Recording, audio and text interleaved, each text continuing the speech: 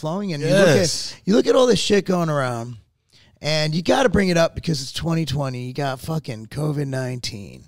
And I will say that it, you know, oh, point to the data. Look, there's data. I'm not going to fucking cite it every time I fucking say it. But, mm. dude, comorbidities are the main reason people are passing from this disease. Yes. And the main reason they have the main comorbidity is obesity or obesity related issues. Yeah.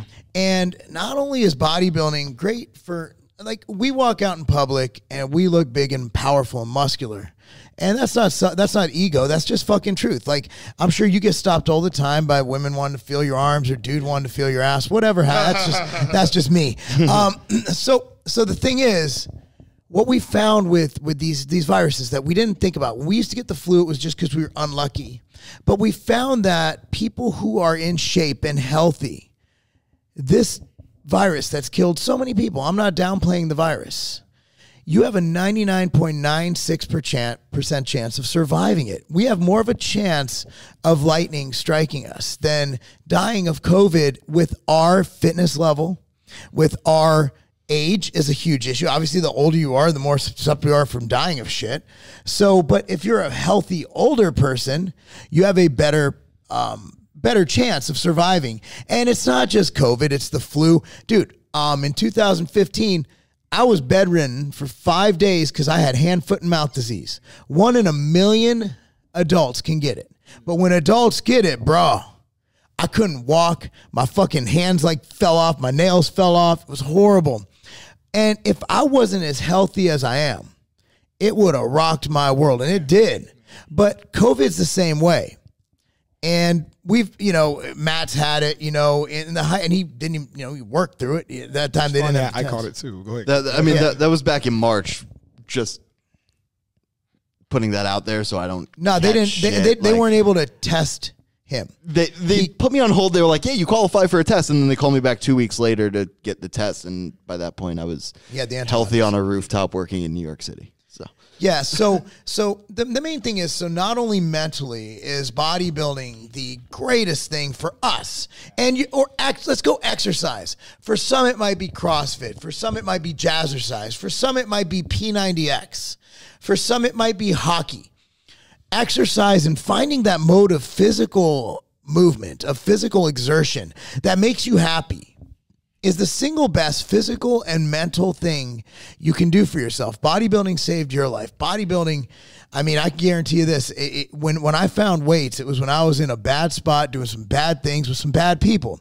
When I was a teenager, and bodybuilding, I've said it many times on my channel. It saved my life. I mean, when I first started dealing with my mental health issues when I was 18, going through depression, first thing I did was join a gym. And it is understated the importance of exercise. And that's why we post things. And we're not, I'm not a PhD. Um, but I posted something today like, look, COVID's fucking real. Okay. I'm not saying it's not real. For us, I'm more worried about a fucking flu, to be honest with you. That's just me from my educated experience and from someone who's been around COVID. You know what I mean? But, but, I posted simply, here's some vitamins you should take. Vitamins and minerals. I didn't say minerals once. Oh, that's a mineral. I'm like, shut the fuck up. Vitamin C, quercetin, zinc, vitamin D. Simple. Under $20 a month to take the recommended doses. People are like, you're not an expert. I'm like, I know. I'm not, but I'm right. They're antivirals. And if you combine that with healthy diet, exercise, not being fat, unfucking yourself is what I call it when you're not fat. Get unfat. Unfuck yourself and you will be in a better spot. We're all going to get sick. Everyone is either going to get the vaccine if it works, because I don't, I don't know shit about fuck about that, and everyone's going to get COVID. We're all going to, we've all had the flu. We're all going to fucking get COVID. Everybody has a story. I haven't had the flu for six years. You still have the fucking flu. COVID's here. And it's here to stay. So, what I'm trying to do is use my expertise in health, in fitness, to get you not to prevent getting COVID, not to prevent getting sick, but to hopefully put you in a better position for your body to fight off not just COVID, but other bacterial and viral invaders of your body. And you do that through diet, training, supplementation, things like that. And for some reason, we say that people get really mad. Well, you're not an expert. Well, who the fuck are you? And also, like, what is an expert? Fauci's been wrong 100% of the time. The motherfucker told us in March masks don't work. Now he's telling us we need to wear masks. Okay, that's great. He said that schools need to close. Today he came out and said schools need to open. The difference is I've been 100% correct about all of this, and a lot of fitness people have. And you've been consistent. I'm not, look, and if I'm proven wrong, I'm proven wrong. But so far, the experts appear to have an ulterior motive. I don't know what that motive is. I don't have access to the Illuminati.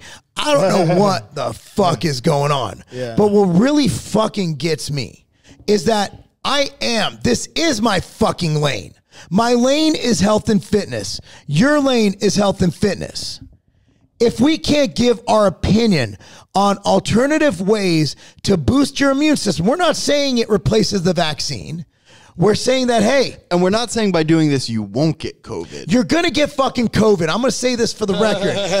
Either through a vaccine, which is basically giving you, in a way, I know it's mRNA, I'm not getting into science. You're basically giving yourself a small dose of COVID to build up antibodies or something similar that makes your body produce the COVID antibodies. Okay. Or you're going to fucking get it. And you might get it this year, next year, and the year after. You might get it this year and never get it again. You might not get it for another six years. Every motherfucker watching this is either going to get COVID or get the vaccine. So I'm just telling you, instead of fucking getting horrible side effects, and, I'm not saying it's going to work, but no one's going to fucking die of taking a recommended daily dose of vitamin D and vitamin fucking C. Why not just take it? Instead, these elitist, pompous fucks are like, well, what's your fucking, what, where's your studies? What's your this? What's your that? Vitamin C is a fucking antiviral. There's more papers on that shit than there is fucking paper at a paper mill, you dumb fucks. It's not rocket science. They have antiviral activity. If the virus is prevented from replicating in the body, that's a good fucking thing. If a virus gets in, what's it? Do? What's a virus do? It goes viral, like a picture. Like if Chris posted a nude on Instagram, shit would go viral. What does going viral mean? You can't fucking stop it unless you put an antiviral in there, and then you can slow it down. You're still gonna fucking get it.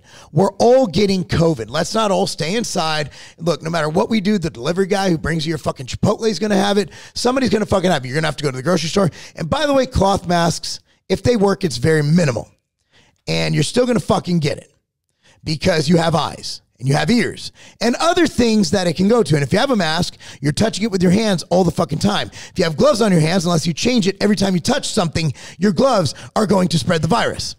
So listen, let's be safe and real. We need to protect the elderly. And us younger folk, we need to take all the precautions we can. We need to be healthy. We need to be in shape. We need to diet right. We need to eat right. Do the best we can. We need to supplement with vitamins that might help. And then when we get it, we want to put ourselves in the best position to beat it as quickly as possible. Yes, sir. I just had to rant about that. The Outright Bar was created for my kids. My kids need a snack to eat during soccer tournaments, and also I wanted a bar for myself to eat pre workout, post workout, and also throughout the day. You want your Outright Bars right now. That's why we have a partnership going with the Vitamin Shoppe to make sure that we're in all 750 plus locations, providing the best price, the best service, the best people to give you the Outright Bar when and where you need it.